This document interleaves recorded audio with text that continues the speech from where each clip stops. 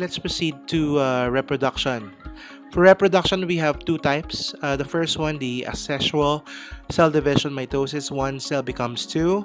And the second one is sexual union of sex cells, which is the sperm and an egg. Uh, to further discuss to you about the reproduction, why is it asexual is related to that.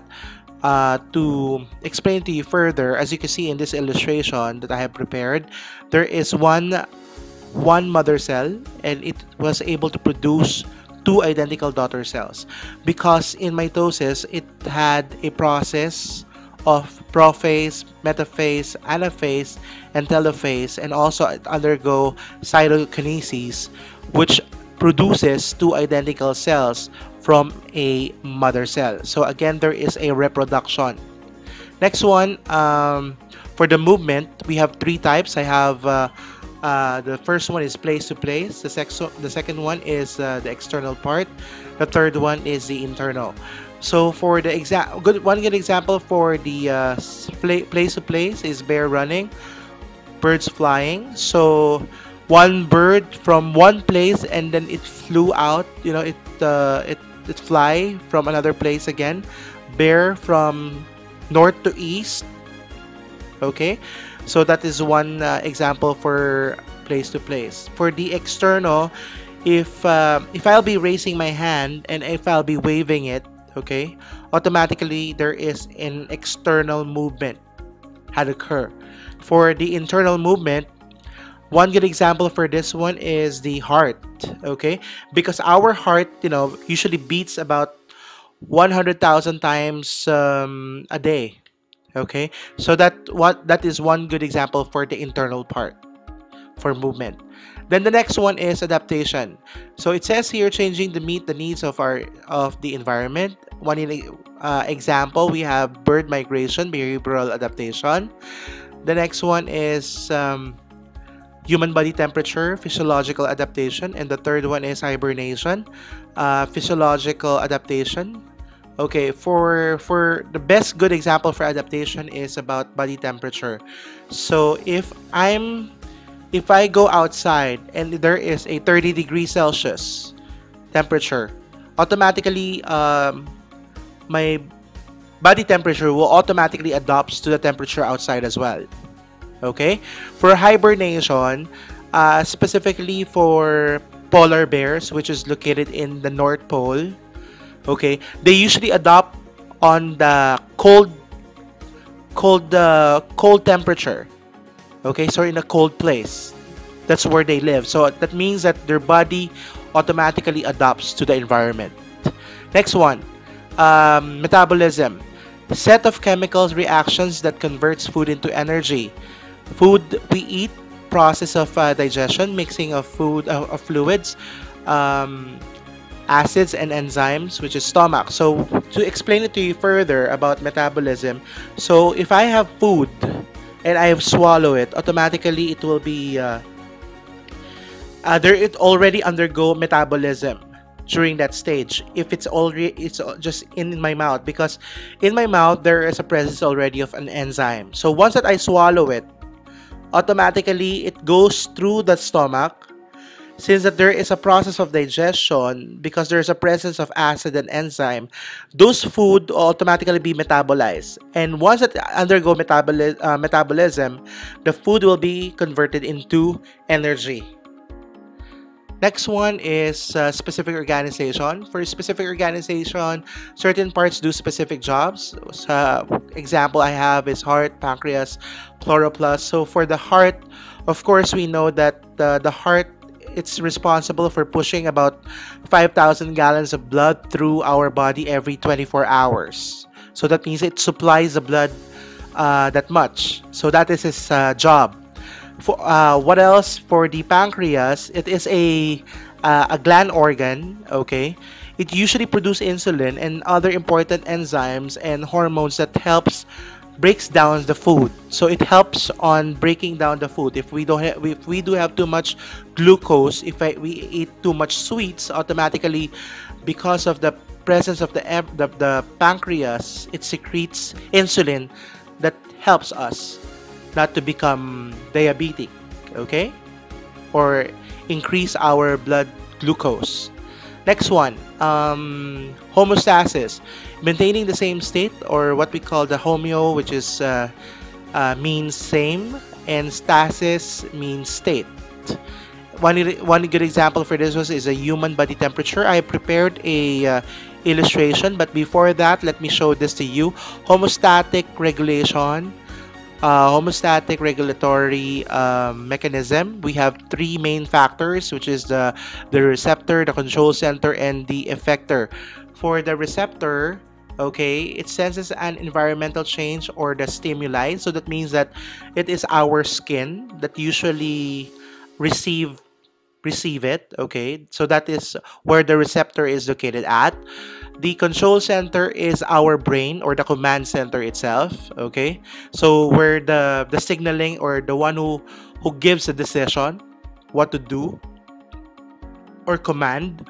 Next one is the effector an organ or a cell that responds to the command of the control center. So after getting the signal from the re receptor, automatically it triggers the control center to make a response, and effector is the one who will respond, or the the organ or the, the, the cell is the one who will respond to what the command of the, the brain wants to execute. So to show you an example on, of an illustration that I have prepared, as you can see here, uh, homeostasis, normal body temperature. For example, if I'm here in this room right now and uh, I have about 20 degrees Celsius inside this room and I decided to go out of my home and it's very hot, about 40 degrees Celsius, automatically what happens, uh, it increases or rising of body temperature, right? So that means that it will trigger my receptor okay will receive that it's too hot okay? And those receptor will automatically triggers the control center which is my brain. Because in my brain there is a what we call the thermoregulatory center in the hypothalamus. So automatically I um what I'll do is I will make the the control center my brain automatically signal the effector to secrete sweat. Okay? So, because I do have sweat glands, so magpapawis ako. Ang mangyayari, ma, uh, papawisan ako because of the command of the control center. So again, this is a cycle for you to be able to understand how how homeostasis uh, works. Okay. Next one. Let's proceed to the um, responsiveness. So for the responsiveness, um, it is a reaction to a various stimuli. So that means that a good example for this one is the light, the heat. The pH stands for potential of hydrogen and the smell. For the light, um, like just imagine that you it was nighttime during nighttime and then you were walking outside okay in the street and there is a vehicle passing through and there is a light shock on your on your eyes so what happens that you will create a response that you wanted to block that light Okay, next one is um, for the smell. One good example, just imagine that you are inside the classroom together with your friends or your classmates and suddenly someone had a a you know someone fart okay? There is a creation of bad odor okay? Automatically you're able to smell it and it's very it's not really good. So what what happens is that you will create a response that you will be covering your nose. That is one good example of a responsiveness. Next one is, um, okay, now let's proceed to the branches of biology. I will just be browsing this up, but you just have to be familiar with this one because you might encounter this in your college entrance exam. Okay, so for this one, um, I have highlighted the most important ones. Okay, of course, for zoology, the study of animals, it could be a bigger one or a smaller animal. Okay. Uh, ichthyology, study of fish. Mammalogy is study of mammals. Ornithology, study of birds. Botany, the study of plants. Uh, I have highlighted bot botany because uh, because the first one is the importance of it right? Uh, as we all know, uh, botany it helped us for food food production. It also served as a herbs and spices to to uh, get to have flavors in our food, and of course for medicine. Uh, to give you some information about medicine, um, 80% or 70 to 80 percent uh, of medicine which is available commercially is coming from plants okay uh, but we will be having a specific topic for medicinal plants afterwards okay? I, I will be giving you more information about medicinal plants later on. Um, microbiology study of small life. So that means those are microorganisms such as bacteria uh, fungi protozoans and more okay? Those are just example. Uh, next one is the anatomy study of an organism's parts. So such as heart liver pancreas those are some example. And of course physiology study of how the organism part works. So that means that it is the function. So if the anatomy is the heart the physiolo physiology is the function of the heart. Okay?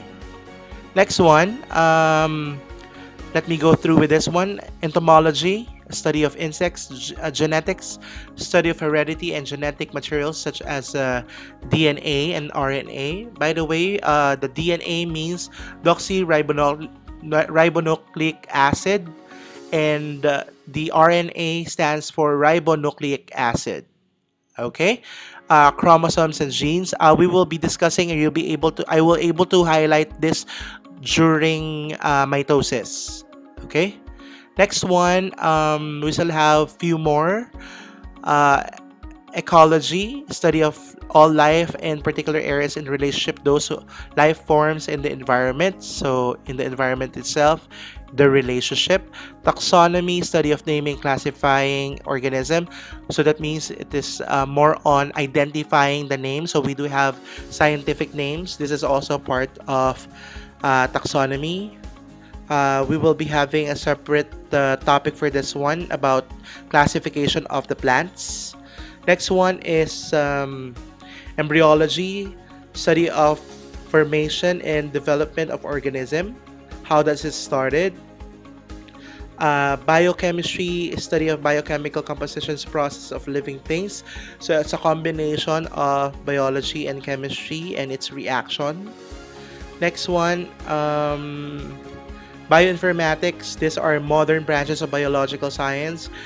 It is a study of biological data using um, computer programs. So that means that uh, innovations, technology is being incorporated to biology. Next one is genomics, study of the entire genetic materials of an organism.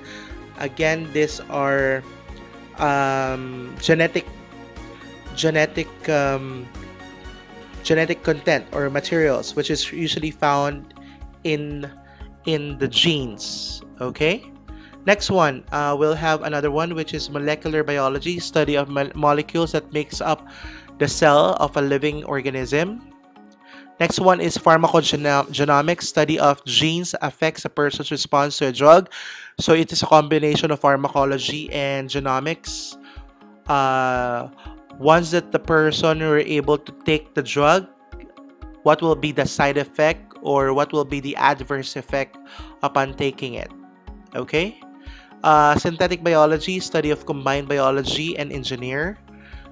Um, systems biology, study of systems of biological molecules such as cell, organisms, and species.